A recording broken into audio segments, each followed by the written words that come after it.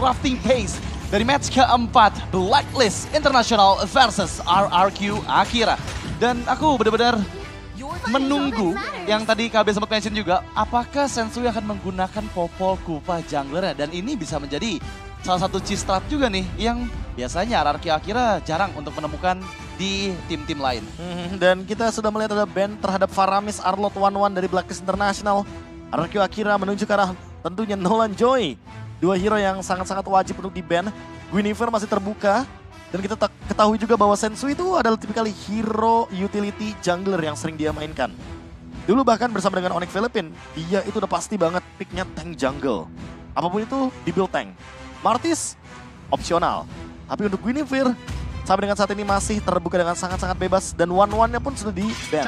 Ya, dan banning terakhir dari RRQ Akira adalah Bruno. So, melepaskan cukup banyak hero seperti Guinevere dan juga mungkin Digi yang terbuka. Cuman memang kita jarang sih ya untuk di M5 Group Stage melihat ada Digi yang Iya. diambil sebagai pick pertama, biasanya Mhm. sebagai situational pick di pick keempat atau kelima dari tim yang bermain. Dan Blacklist ini kan memang cukup kuat dengan UB strat mereka Betul. ya.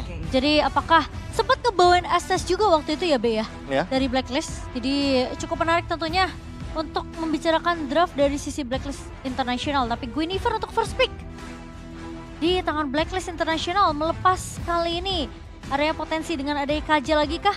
Yang bisa mengcounter dengan adanya Violet Harem. Atau Matilda yang terlepas. Ini juga bisa Uh. menjadi power dari Luis. Yang nantinya akan membawa juga Gusta Lagusta sebagai satu tambahan power dash ability. Dengan hero yang masih open juga menuju ke arah Brody mungkin. Tapi Basya dan Cloud. Uh, sebuah pick yang sangat jelas sekali untuk menunjukkan bahwa Gusta Lagusta akan mengamankan fase hero marksman pertamanya. Yang langsung menuju ke area gold lane Mhm. dengan Cloud dan membawakan Purify. Artinya di sini Blacklist International juga masih memiliki kesempatan untuk membawakan Minotaur.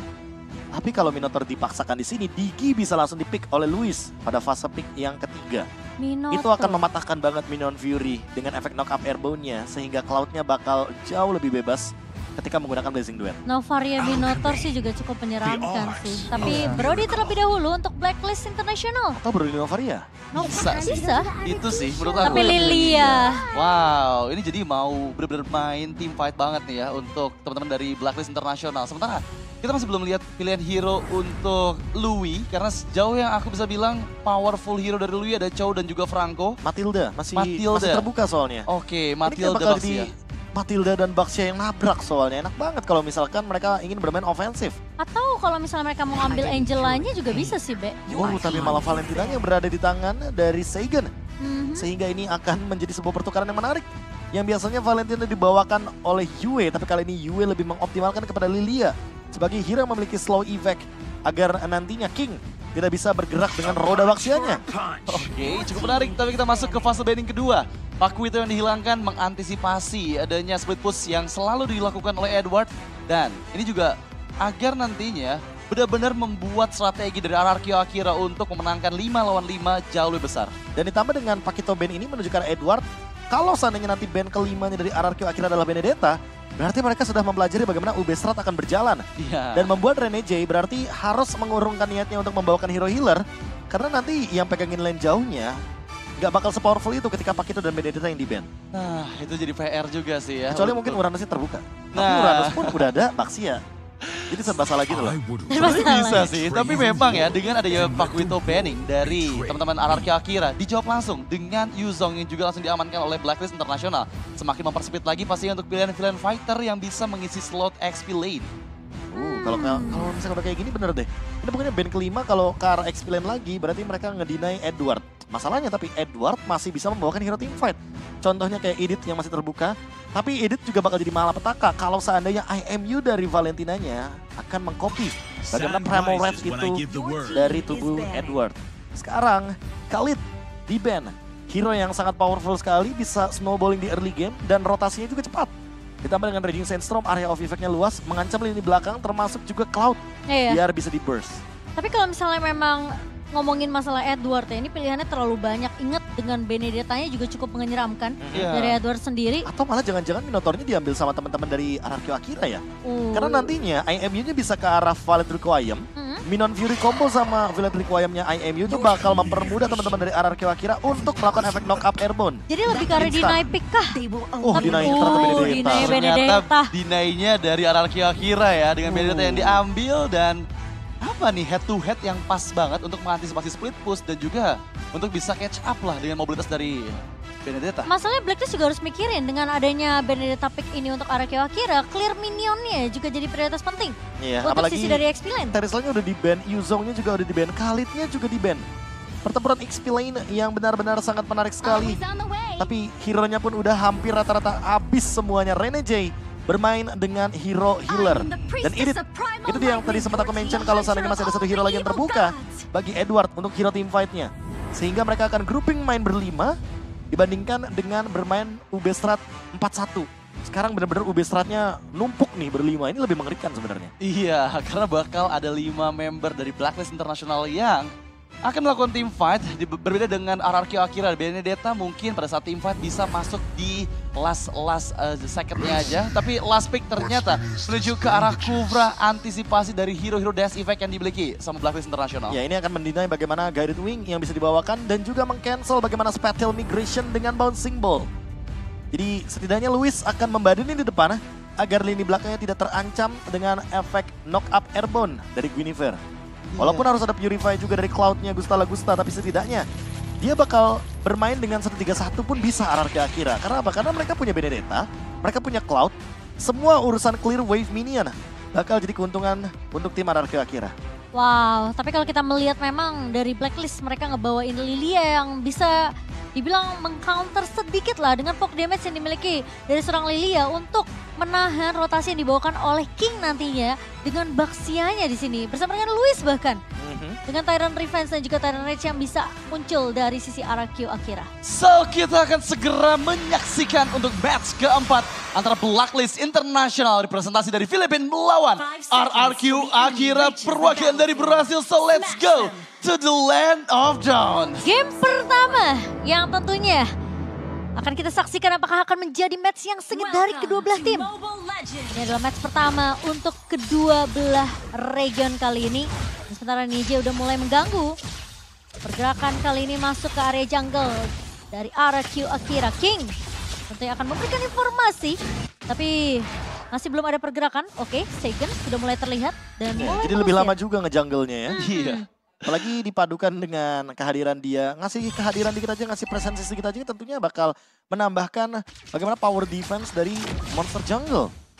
Tapi untuk sekarang kalau kita melihat dari RRQ Akira, mereka kayaknya lebih eh, dominan untuk mengendalikan bush-bush penting di area mid lane sehingga tidak ada invasi jungle untuk King itu sendiri. Sebenarnya aku penasaran sih, Be, dengan draft yang dibawakan sama RRQ Akira.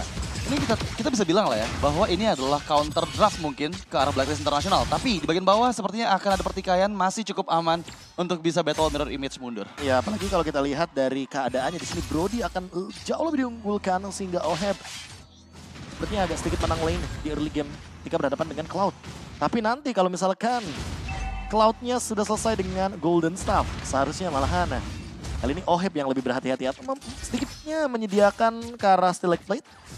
Setidaknya dia punya physical defense.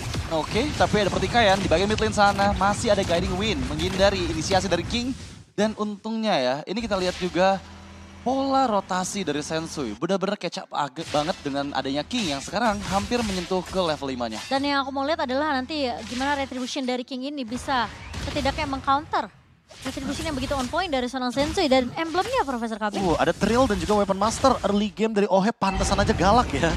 Full damage soalnya. Apalagi ada adaptive damage 16 ditambah lagi dengan 5% dari emblemnya juga ditambahkan lagi. Dan ketika sudah menuju ke turtle yang pertama, ini dia setup adalah kunci dari kedua belah tim.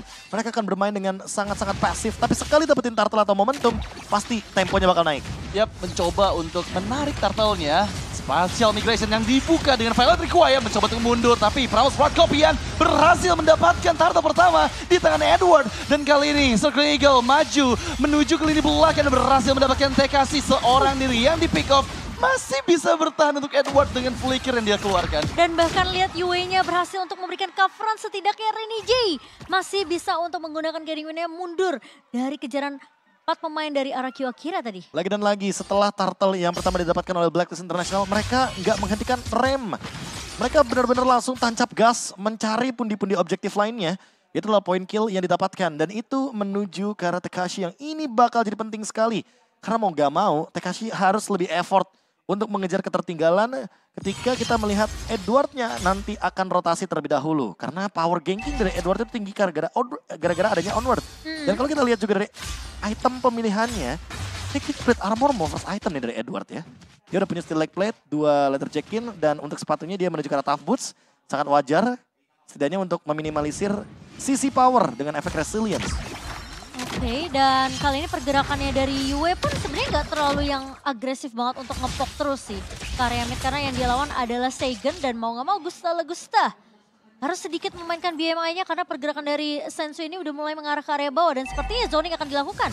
Ya, Sensui memang sudah bersiap juga memberikan sandwich laningnya di bagian bottom lane sana dengan Oheb yang berusaha mendapatkan gold dengan semaksimal mungkin. Louis yang memberikan backupan belum bisa nge dengan Terrence Revenge-nya. Ya, dan penyebutan tentunya dari seorang Rainy J memastikan at least dari Oheb ini akan ngebantu juga tadi dari segi Little Wonder kah tadi Profesor KB? Iya, tapi kalau buat sekarang dengan Angel Talisman yang diamankan sama Yue ini menjadi hmm? sebuah misteri juga untuk sendiri. Apa yang bakal dibawakan oleh Yue nantinya. Karena yang farming dua lane ini dari tadi Oheb loh ditarik-tarikin sama Guided Wingnya Rene J. Uh -huh. Dia ber dia berfarming Ria di bagian mid lane.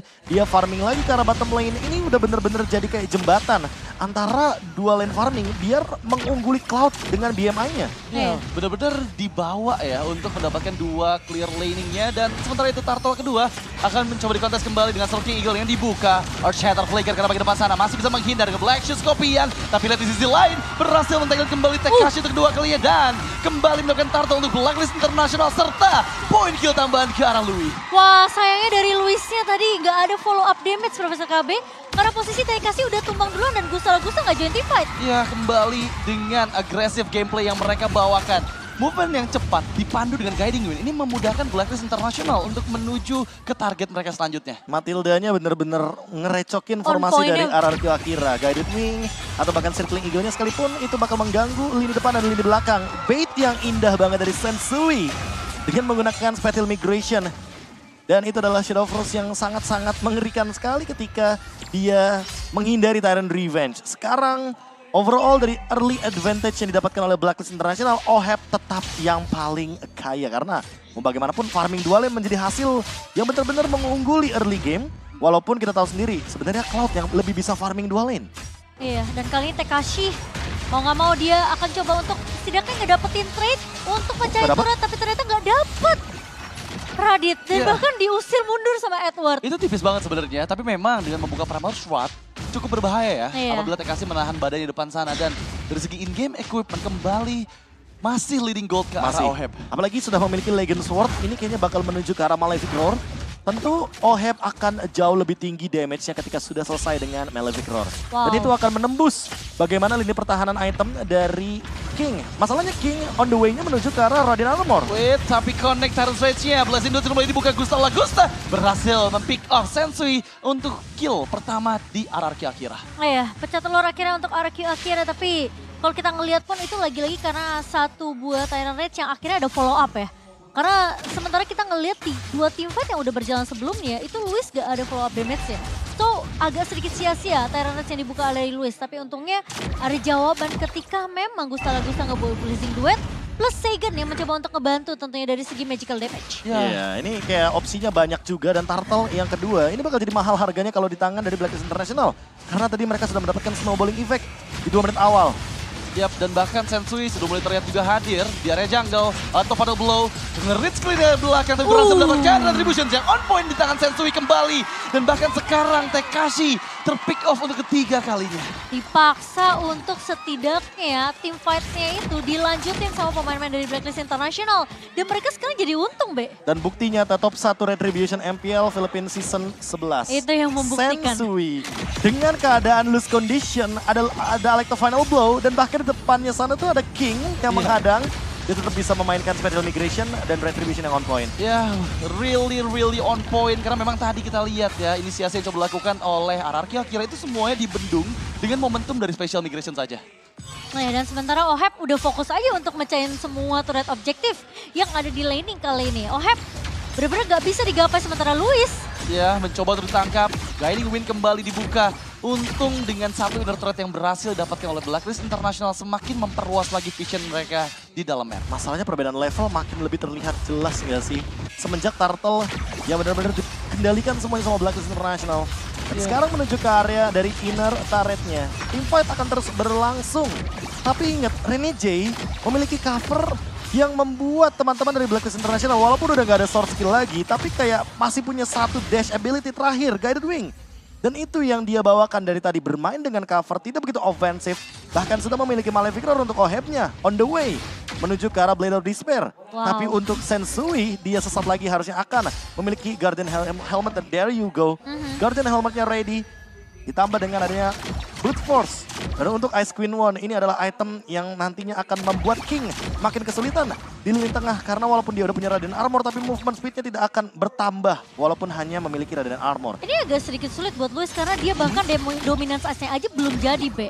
Nah, ditambah lagi kalau kita lihat dari item yang dimiliki sama Yue, harusnya dia akan menuju ke arah Lightning Tranchen. Ice Queen Well udah jadi, ya kan? Dan Enchanted Talisman-nya juga udah jadi dari Yue sendiri. So, cooldown dari uh, Angry Gloom-nya ini akan lebih semakin cepat. Nah, Dan bisa di-spam sama Yue-nya. apalagi kalau Lightning Tranchen lebih cepat lagi. Nah itu, Karena punya 10% cooldown reduction, efek resonate per 6 detik, dan movement speed tambahan juga ketika nanti per 6 detik tersebut dia akan menimbulkan efek serangan listrik dari Lightning Tranchen. itu bakal jadi item ketiga sih sepertinya untuk Yue karena efek snowballing dari Blacklist International di menit ke-9 kali ini malah semakin berkelanjutan.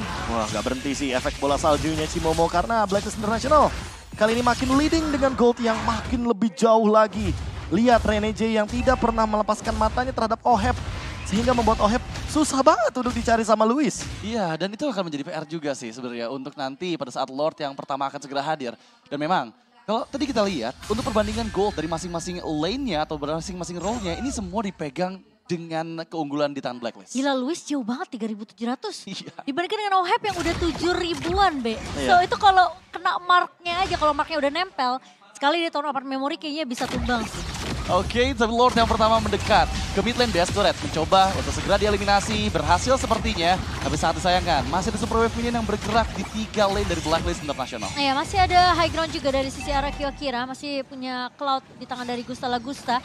Tapi ingat Yue di sini cukup perih tentunya dengan poke damage yang dimiliki dengan Angry Gloom dan juga Magic Shield. So Araki Akira mereka harus benar-benar memikirkan positioning mereka. Siap mencoba untuk mendapatkan satu best pertama tapi facial migration Sensui mendapatkan tepat ke tubuh dari Luis dan juga King yang berhasil dihilangkan dua runner down Ararki Akira dalam kesulitan mencoba untuk clear minion cepat-cepatnya masalahnya masih ada dua wave minion di bagian top lane bottom lane dan menyisakan tidak ada best turret di high ground dari Ararki Akira dan bahkan kembali mendapatkan Tekashi blessing duet memang dibuka Gusta Lagusta berusaha clear minion cepat-cepatnya masalahnya masih ada satu siege minion dan sekarang menjadi kemenangan di tangan Blacklist International.